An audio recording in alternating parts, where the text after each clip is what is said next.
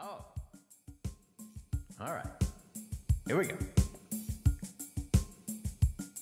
Mm-hmm. Let's party. Yeah.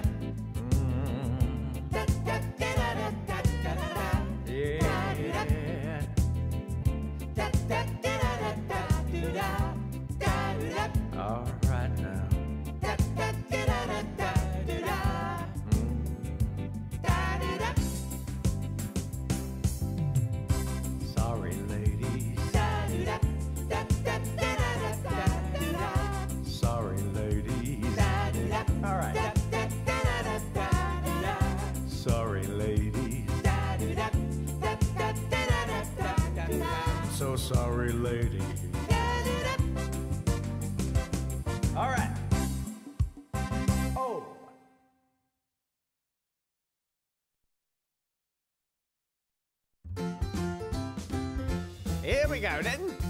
All right. Everybody loves a shiny suit. There's more to it than simply looking cute. If you're selling cars or houses, put on your fancy trousers. They give a man an air of high repute. Everybody loves you in formal dress. A quick way of obliging your noblesse. Rees-Mogg to Priti Patel, they always dress so well. Just who they are inside, you never guess. When you look at Jeremy Corbyn, he doesn't look much cop. If he wants us all to listen, then he'd better change his top. His clothes look like they came from round the back of an Oxfam shop. When everybody loves a shiny suit. Now listen, everybody loves a shiny suit. It makes you look all proper, ain't that the truth? You might think she's dressy, but your blonde hair can stay messy just as long as you're wearing a whistle and a flute. Now you might be above a boy who's not above a threat of violence to journalists or doubling the national debt. As long as you're dressed sharpish, there's nothing to regret, cause everybody loves a shiny suit. From criminal suspects in the dock avoiding lengthy sentences, from bankers working at Northern Rock to all the new apprentices, a suit provides the cover for every deficiency, except for football pundits when they're talking on TV, cause everybody loves a shiny suit. And we will all stand there and the salute. When we finally confuse sartorial with deeply dictatorial and the Nazis parade in polished hats and boots. Cause they're all dressed up in the shiny. You voted for this, don't be whiny. Dressed up in the shiny suits.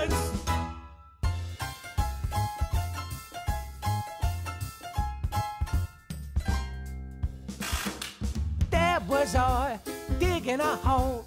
Two meters wide it was, and it was me and Terry. Now, what was we supposed to do?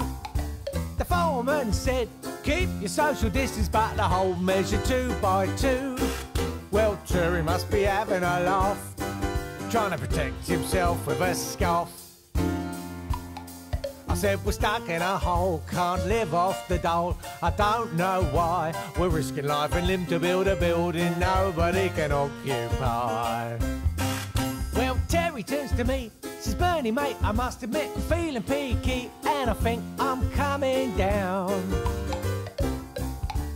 Off goes he, goes up to his family on the tube across town. And the foreman says to me, keep up the false economy. Cause we're stuck in a hole, everyone's on the dole. And that's why you're risking life and limb to build a building nobody can occupy.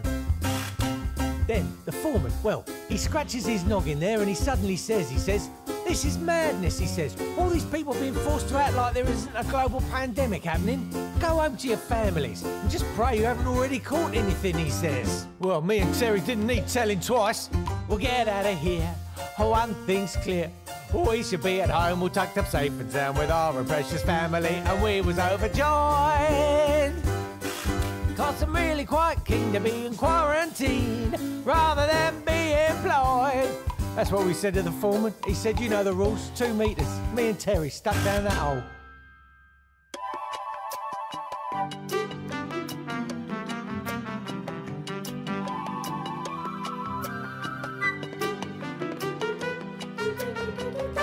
I'm going straight to hell.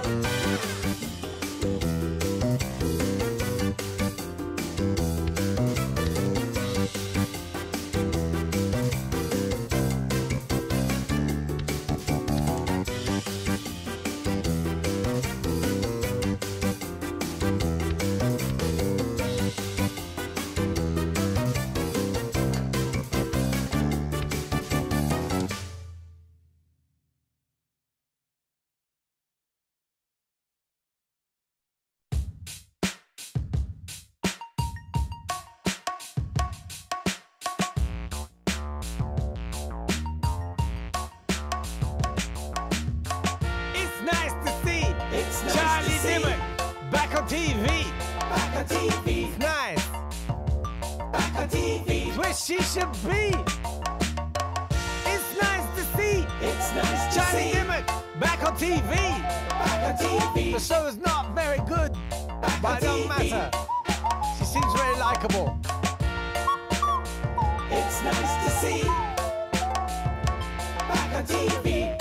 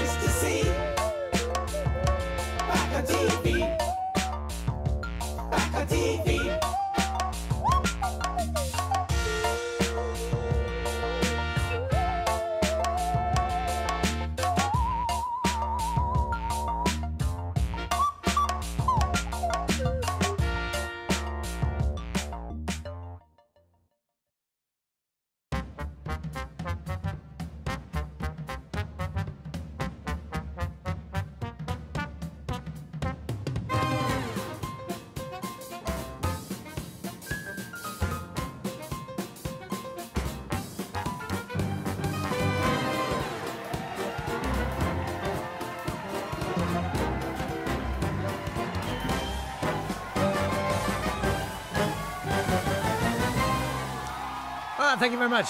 How nice, how nice, how nice. Thanks very much. Let's get on with it. Uh, good morning. How are you? Here we are, Hump Day, Wednesday. Uh, it's lovely to be here, and uh, the format seems to be working. The whole live streaming thing. You know, we're getting there. And what I'm pleased about is that uh, on a technical level, today is much easier. Uh, there's no guests. There's no, I don't have to worry about any of that. It's just an old school podcast, effectively. And that's quite a relief, I've got to say. Um, We've had some great reaction. Uh, good morning, everybody watching live on YouTube. Uh, good morning, Emily, Steph, Una, Jem, Martin. Uh, morning. Uh, great reaction to Britain Awake with John Holmes yesterday. Uh, in fact, uh, someone took the trouble to call in with a little bit of reaction to that. Yeah. Hi, Jake. It's Gary Krill here. Hi, Gary. I'm ringing up vis-a-vis John's reference to Jason and the Argonauts right. in 1963. Sure. And now Mr. Harryhausen animated, amongst others, The Hydra. Now, I've seen this on Pirates of the Caribbean ride, and if they can make Johnny Depp look like a lovable rogue, then surely they can make Cecil Rhodes apologise for his colonial exploits. I've also heard that the Cornish are fed up with people stereotyping them and become extremely anti-pasty. Nice. Back to you in the studio. Thanks very much, Neil.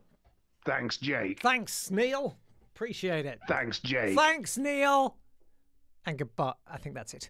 Um, we always welcome your reaction. Uh, you can leave a voicemail now, uh, particularly, you know, if there's any kind of like, you know, because you, we know what's getting traction now on, on the platforms. You know, the YouTubes and and the, all the all the broadcast media is is is the quite strong rhetoric. You know, the anti-masking and the the quite hardcore. It's not racist to say blah blah blah.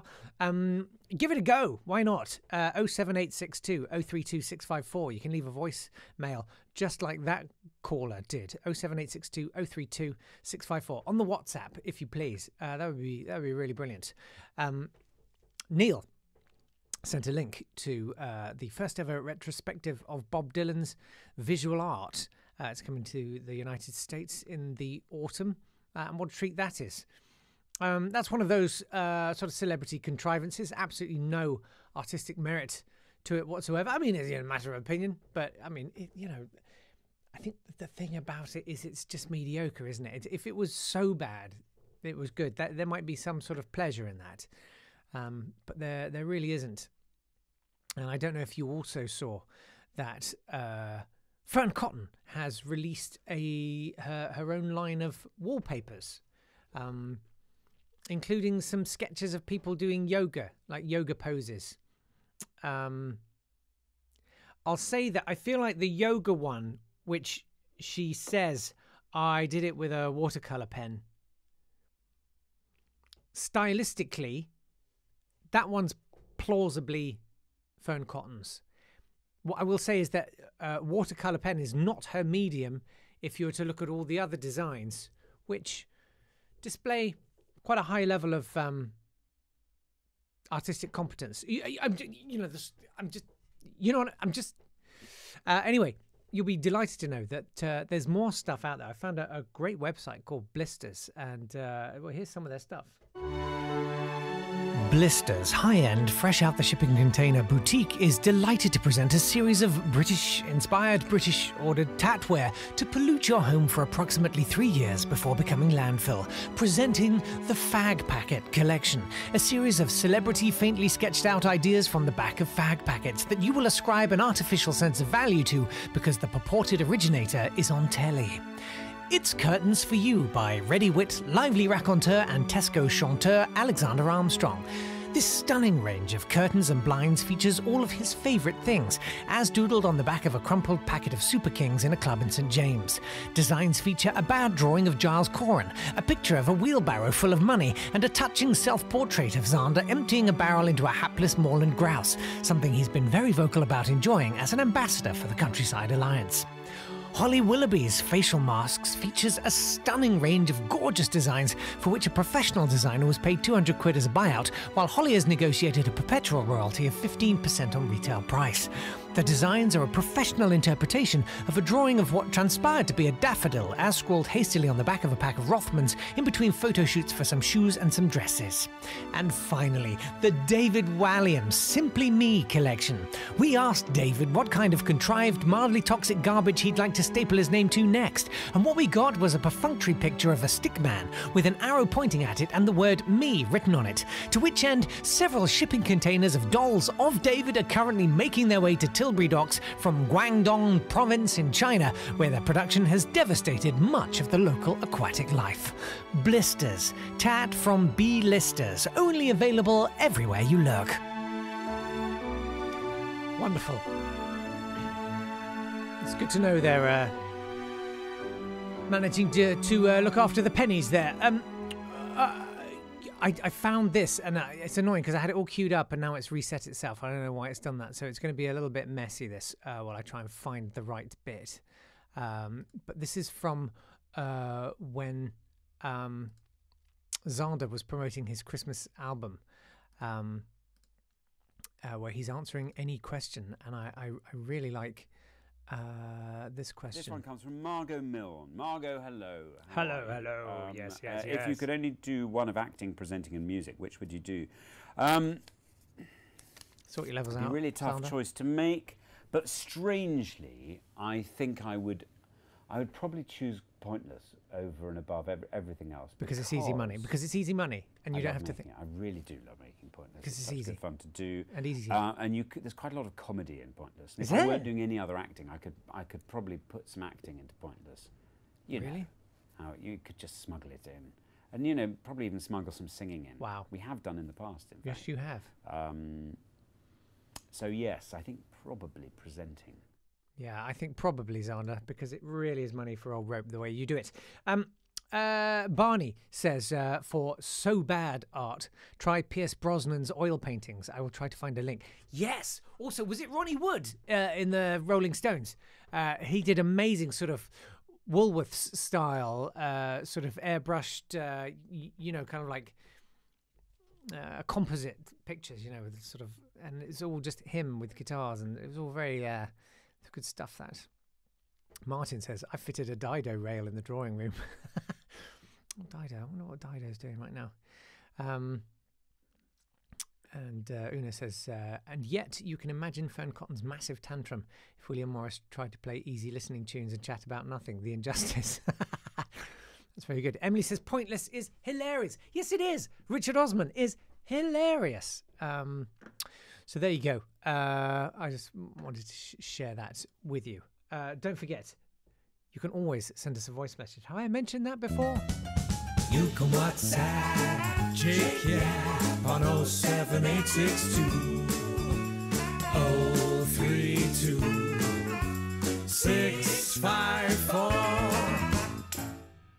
How do Jake and the Apostles? Having just been informed this morning that I have to self isolate for five days, even though I've had both vaccinations and um, uh, fully PPE'd whenever in public. Um, yeah, I, I was just wondering if uh, anybody can maybe think of any hobbies I can take up or anything I can do from inside the house without having to get anything from outside the house inside the house, if you know what I mean. E.g., I don't have a piano, so I can't learn how to play the piano. Oh, Over but you you. could. But you could. Uh, that's Pablo. Thanks very much. If anyone's got any suggestions for Pablo, uh, do let us know. It's not today at swanburst.com. If you want to email, that's not today at swanburst.com. Or uh, it's at not today pod on Twitter. Um, if you've got a suggestion for what Pablo could do, I would argue if you've got a piece of paper or even, you know, uh, an arm, you could always draw the piano keys on and sing the the notes as they come. I'm just saying. Hey, we've had another one from uh, trusted supplier Gem. Uh, hi, Jake. Um, further to your tap from B-listers feature, my uh, my antiques dealer has uh, has been on the line, and wondering whether you'd be interested in an uh, origami swan folded by Top Gear's William Woollard. Are you actually serious though? I, I I'm prepared to believe almost anything there. Um, anyway, if you've got a suggestion for what Pablo could do, uh, that'd be great. And speaking of antiques, I've started watching uh, the, the Antiques Road Trip um, in the mornings on BBC Two. Really getting into it. Is that about my age? I think it might be, or is it about the Israel-Palestine conflict? I can't I can't fully tell. Um, but yes, it's it's really important that with that whole conflict that we focus on how it affects me, isn't it? Neil says, uh, Pablo, why don't you try upstairs bedroom fly fishing? I'm not sure what that. I don't. I don't know. Uh, Jane says, can you create something out of bodily fluff? Time to start collecting. I saw someone collect it once in a jar. It was kind of horrendous. Um, and Jane says, uh, my dad's a big fan of bangers and cash. It's quite good if you're into old motors. There you go. Um, anyway, yeah, yeah. Send your suggestions 07862 032 654, particularly, you know, if there's a demonstration uh, of something that you'd like to share. Uh, but anyway, it's Wednesday, and that means we're 24 hours away, uh, well, just under, um, from launching the inaugural uh, musical made uh, collectively. Although, I mean, I'm not being funny, but I'm I'm doing the majority of the legwork on it. Um, but it, but taking your suggestions. God, it's a bit like uh, whose line is it anyway? That, that John Sessions. Could I have a profession, please? Butcher. Butcher. Thank you very much. And could I have a household object, please? Toilet. A toilet. Okay. oh, what's this toilet doing in my butcher's shop? And scene. Thank you very much. Oh, improv. Uh, anyway, um, I've, I've had some idea. So Julie yesterday suggested something like a sort of a. She likes Oklahoma and was thinking a kind of a, a thing about London with the sort of the easing of lockdown. Could there be a kind of hey, uh, it's London, maybe in this sort of uh, who will buy kind of kind of thing. And I do love me a 1960s British musical, particularly the choreography. Um, and I'm, I'm definitely hoping to work some of that in. Um, and uh, I quite like that sort of market, that sort of slowly populating marketplace idea. Uh, and I think I think there's a lot of fun to be had out of that. So I'm going to do that. And I was thinking about that, the sort of the the, the, the easing of lockdown. But then uh, this wild card came. I'm sorry, I'm smacking my lips. The burn is healing, which is great news. Um, I got an email from Pat yesterday who said, following on from Julie's idea of an old London setting, how about the super creepy and strange story of Spring Heeled Jack as a possible subject of those cobbled, fog bound streets? Uh, I mean, lubber duck, core blimey, my jelly deals. That's the other things I get to do my 1960s Cockney, which I do enjoy. Um, Spring Hill Jack. Uh, so I looked into that. Never heard of it before. Absolutely mad story. Uh, do you know about Spring Hill Jack? So it's a sort of folklore, mm, urban myth thing from the Victorian era. Uh, the first claimed sighting was in 1837. Um, and it did spread across London, but also the Midlands and Scotland a bit. But it sort of became a bit of a bogeyman thing. Um, apparently, he could do these extraordinary leaps. He could leap nine feet into the air, uh, and he would leap from coaches and stuff. And he didn't. He didn't really do anything. Um, I mean, he sort of he accosted people, but he didn't. He didn't really do anything. Um, and g- gave lots of uh, sort of housemaids and things the vapors, but, but but didn't actually Um, it wasn't like too bad or anything. His appearance apparently was pretty terrifying. He had clawed hands. Some people said that, that he had like metal gloves uh, and eyes that resembled red balls of fire. Um, one report claimed that beneath a black coat he wore a helmet and a tight fitting white garment like an oilskin, and people said he looked like the devil. He was tall and thin with the appearance of a gentleman. And several reports, several reports, mentioned that he could breathe out blue and white flames. He's a whiz for getting a barbecue started. Uh, yeah, with sharp metallic claws at his fingertips. Um, and at least two people said he was able to speak comprehensible English. Uh, I had a little look on YouTube, but uh, to be honest, the videos I watched literally made me fall asleep. Um, there's a sort of consensus that the police didn't take it very seriously at the time, but but another video said yes, they did. They put on, uh, they had more uh, people on on duty uh, on patrol. So um, uh, anyway, I think I think I can work that in. So we might start in sort of present day London, but then we'll sort of time warp back. I'm not doing time warp. I hate that song. I really hate. I'm, I'm not a fan of the Rocky Horror Picture Show. I'm sorry. Are you? Just can't get on with it. Um, then we're going to go back in time to Spring Heel Jack, and then we'll sort of come forward to the end of the horror. Um, but some nice suggestions uh, from some of them. Uh, Jane says, consider yourself vaccinated. That's good. Una says, sorry with a cringe on top. Darren simply says, I'm going up west with me jelly deals. And Martin says, please, sir, can I have some more AstraZeneca? Um, Martin also says, Spring Hill Jack was no phantom raspberry blower of old London town. Uh, JVT superstar jabbing us with AstraZeneca. These are very good. Well done. Uh, but I, you know, I can't for copyright reasons. I can't do those. I've got to do something new. Um, Jem says so. There's an opportunity for a version of Goodness Gracious Red Balls of Fire, or is that a bit too niche? Um, and Alex says I had a spring heeled Jack monster in my pocket toy, but I think he was only worth five points. Yeah, I mean he he wasn't that monstrous. It was just the sort of thing. And uh, Jane agrees. Rocky Horror is awful. It is awful, isn't it? It just feels a bit contrived. Is that? I don't know. I don't know. Uh, and Martin says the all rather mysterious podcast comprehensively solved the mystery of Spring Hill Jack. Right, I'm going to go and listen to that today. Thank you for that. That's a top tip.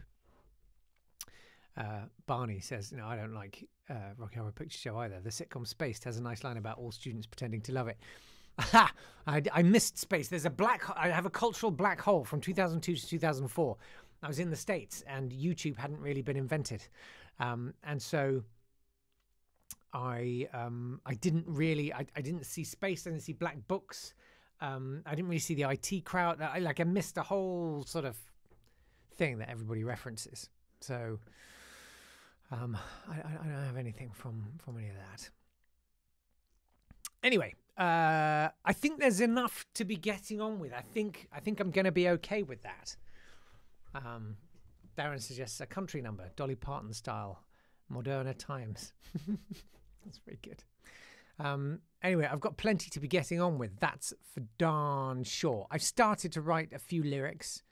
Um, and for patrons, uh, I will stream some of the making of uh, at some point later today. I've got it's going to be a kind of um, minor key uh, waltz thing. Um, it's going to be like a.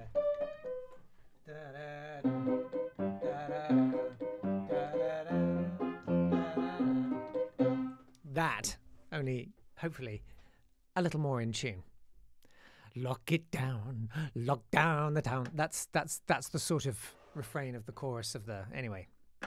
Oh God, slightly excruciating, isn't it? Right. Um, this has been fun. Thanks for being here. Uh, I hope to uh, see you tomorrow when, hopefully, all being well, uh, a 4 a.m. finish, I think, I'll unveil the musical. Thank you for all your suggestions. Don't forget, uh, you can watch tomorrow at 10 a.m. on YouTube. You simply have to go to www.youtube.com slash nottodaypod If you go there now and you subscribe, and then there's a little button with a bell on it, if you click on that, you'll get an annoying little thing popping up saying, Not today, pod is live tomorrow. And then you have to remember. I hope I remember. See you tomorrow. This has been a Swanburst Media production.